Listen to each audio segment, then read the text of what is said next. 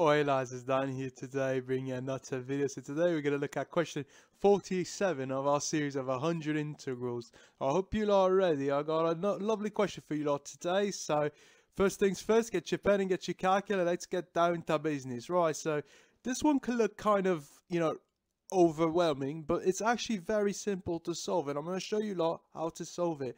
So looking at this, you know you're dealing with a trig integral. You got a you know you got trig functions, and you got a trig function to a power of you know to a power of two. You know, so you know you're dealing with a trig integral. So you this is not a very standard one in you know in the terms that you it's not you know you can't really use these cases right away. You know, you guys are gonna have to simplify it in a format and then apply a u sub. So that's the way we're gonna be approaching this problem. I'm going to use trig identities to write it to remove that fraction. We do not we do not want to see that fraction. We want to remove it, and we want to have you know a simple numerator, no denominator. So we don't want a fraction essentially, and we're going to simplify in a way that we don't have that, and then we're going to apply a simple u sub. So that's the the logic you you lot are going to need to have when solving for this problem. So we're going to do it right away. We know that cotan, right? If you're a lot familiar, cotan of x can be rewritten as the following. It could be rewritten as cos of x divided by sine of x. Very important. And we know that secant squared of x, right?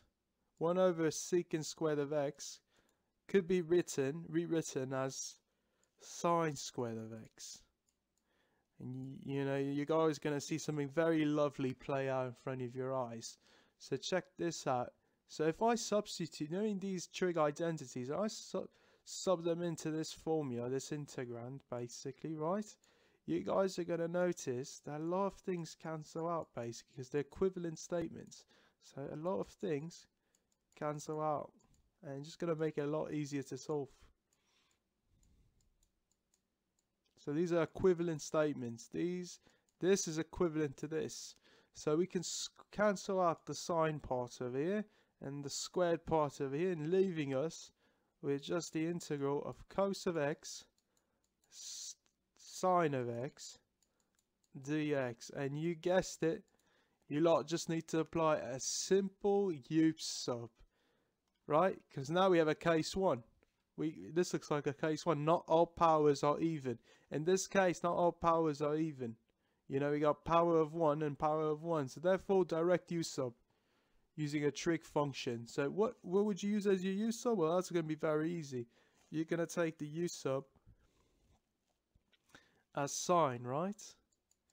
So u is equal to sine of x. So here you're going to do a u sub very important and your du variable, when you take the derivative of sine, is going to give you cos of x dx. Divide cos on both sides. And we're going to substitute dx into the formula. So we're going to do that right over here for you lot. So we got the integral cos x sine is going to be equal to u and dx in this case is going to be du divided by cos of x. Cos of x is going to cancel out. And what you lot are going to be left with is u du. You take an integral of that, it's just a simple power rule from integral calculus. And you guys are going to end up with u squared divided by 2. You substitute back in your u variable, which in this case is your sine variable.